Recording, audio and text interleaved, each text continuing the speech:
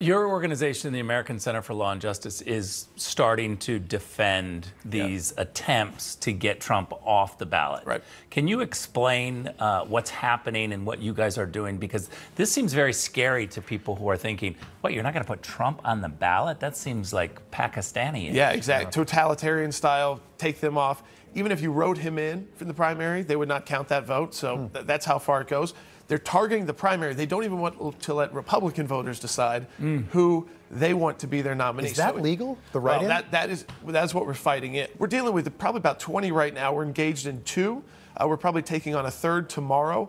Each state's wow. a little different, but uh, you've got big liberal organizations behind this. But Ric, it's not just the left. There are a lot of elite Republican lawyers in D.C. who are assisting them in trying wow. to get him removed uh, from the ballot. So this really? is all about the swamp. Thank God we got ACLJ. Yeah, my yeah. goodness. Uh, the work you guys are doing is fantastic.